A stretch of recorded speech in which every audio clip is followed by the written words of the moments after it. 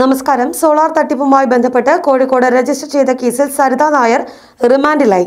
ഈ മാസം ഇരുപത്തിയേഴാം തീയതി വരെയാണ് അഞ്ചു ദിവസത്തേക്ക് കോഴിക്കോട് ഒന്നാം ക്ലാസ് ജുഡീഷ്യൽ മജിസ്ട്രേറ്റ് കോടതി സരിതയെ റിമാൻഡ് ചെയ്തത്. കണ്ണൂർ ജയിലിലേക്ക് സരിതയെ കൊണ്ടുപോകും.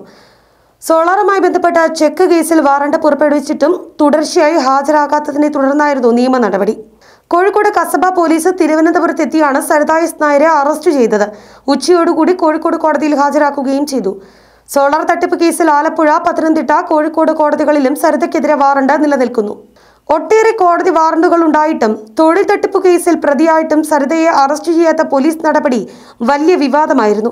കീമോതെറാപ്പി നടക്കുന്നതിനാൽ ഹാജരാക്കാൻ കഴിഞ്ഞില്ല എന്നായിരുന്നു സരിത എസ് നായരുടെ അഭിഭാഷകൻ കോടതിയെ അറിയിച്ചിരുന്നത്. എന്നാൽ സരിതയുടെ അഭിഭാഷകൻ ഹാജരാക്കിയ രേഖകളിൽ കീമോതെറാപ്പിയുടെ ഒരു കാര്യവും വ്യക്തമാക്കുന്നില്ല എന്ന് പ്രോസിക്യൂഷൻ വാദിച്ചു.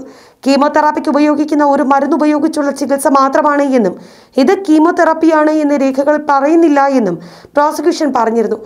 തുടർന്നായിരുന്നു സരിതയുടെ ജാമ്യം കോടതി കഴിഞ്ഞ മാസം റദ്ദാക്കിയത്. ഉടൻ അറസ്റ്റ് ചെയ്ത് ഹാജരാക്കാനും ആവശ്യപ്പെട്ടിരുന്നു. നടക്കാവ് സെന്റ് വിൻസെന്റ് കോളനി ഫജ ഹൗസിൽ അബ്ദുൽ മജീദിന്റെ വീട്ടിലും ഓഫീസിലും സോളാർ പാനൽ നൽകാമെന്ന് പറഞ്ഞ് നാൽപ്പത്തിരണ്ട് ദശാംശം ഏഴ് ലക്ഷം രൂപ പ്രതികൾ തട്ടിയെടുത്തു എന്നാണ് കേസ്. ഹൈക്കോടതിയിൽ നിന്ന് കീഴ്ക്കോടതിയിൽ ഹാജരാകുന്നതിന് ഇളവ് നൽകിയത് നിലനിൽക്കുന്നുവെന്ന് കാണിച്ച് സരിതയ്ക്ക് വേണ്ടി നൽകിയ ഹർജി നേരത്തെ കോടതി തള്ളിയിരുന്നു. ഹൈക്കോടതി നൽകിയ ഇളവിന്റെ കാലാവധി കഴിഞ്ഞെന്ന് കണ്ടെത്തിയാണ് നടപടി. ഒന്നാം പ്രതി ബിജു രാധാകൃഷ്ണൻ കേസിൽ നേരത്തെ ജാമ്യം എടുത്തിരുന്നു. മൂന്നാം പ്രതി മണിമോഹനെതിരെ നേരത്തെ വാറണ്ട് നിലവിലുണ്ട്. തട്ടിപ്പ് കേസിൽ നേരത്തെ വിധി പറയാൻ നിശ്ചയിച്ചുവെങ്കിലും പ്രതികളാരും ഹാജരാകാത്തതിനെ തുടർന്ന് മൂന്നാം ജുഡീഷ്യൽ ഫസ്റ്റ് ക്ലാസ് മജിസ്ട്രേറ്റ് കോടതി വിധി ഏപ്രിൽ ഇരുപത്തിയേഴിലേക്ക് മാറ്റുകയായിരുന്നു. വിധി ദിവസം ഹാജരാകാത്തതിനെ തുടർന്ന് രണ്ടാം പ്രതി സരിത നായരുടെ ജാമ്യം റദ്ദാക്കുകയും ചെയ്തിരുന്നു. മാത്രവുമല്ല സരിതയെ അറസ്റ്റ് ചെയ്ത് ഹാജരാക്കാൻ ജില്ലാ പോലീസ് മേധാവി എ വി ജോർജിനോട് നിർദ്ദേശിച്ചിരുന്നു. കസബ സി ഐ മുഖേന അറസ്റ്റ് വാറണ്ട് പുറപ്പെടുവിച്ചിട്ടും ഹാജരാകാത്തതിനെ തുടർന്നാണ് നേരിട്ട് കസബ പോലീസ് എത്തി അറസ്റ്റ് ചെയ്തത്.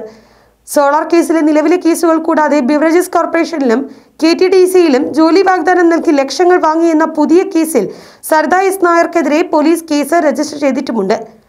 ജോലി വാഗ്ദാനം നൽകി ലക്ഷങ്ങൾ വാങ്ങി ഇരുപതോളം യുവാക്കൾക്ക് വ്യാജ നിയമന ഉത്തരവുകൾ നൽകി എന്നാണ് നെയ്യാറ്റിൻകര പോലീസ് രജിസ്റ്റർ ചെയ്ത കേസ്. പതിനൊന്ന് ലക്ഷം തട്ടിയെന്ന ഓലത്താന്നി സ്വദേശി അരുണിന്റെ പരാതിയിൽ സരദായസ് നായരെ രണ്ടാം പ്രതിയാക്കിയാണ് പോലീസ് കേസെടുത്തത്. ഈ കേസിൽ മാസങ്ങൾക്ക് ശേഷം ഏപ്രിൽ പതിനേഴിനാണ് ആദ്യ അറസ്റ്റ് നടന്നത്. ഒന്നാം പ്രതിയും കുന്നത്തുകാൽ പഞ്ചായത്തിലെ സി പി ഐ അംഗവുമായ രതീഷാണ് അറസ്റ്റിലായത്. ഇടനിലക്കാരനായി പ്രവർത്തിച്ച കുന്നത്തുകാൽ പഞ്ചായത്തിലെ ഇടത് സ്ഥാനാർത്ഥി ഷാജു പാലിയോടും സരിതാ നായരുമാണ് രണ്ടും മൂന്നും പ്രതികൾ. ഓലത്താനി തിരുപുറം സ്വദേശികളിൽ നിന്ന് K T D C Bevco എന്നിവിടങ്ങളിൽ ജോലി വാഗ്ദാനം നൽകി പണം കൈപ്പറ്റിയതായിട്ടാണ് പരാതി. പരാതിക്കാരിൽ നിന്ന് പണം കൈപ്പറ്റിയതായി രതീഷ് പോലീസിനോട് സമ്മതിച്ചിരുന്നു.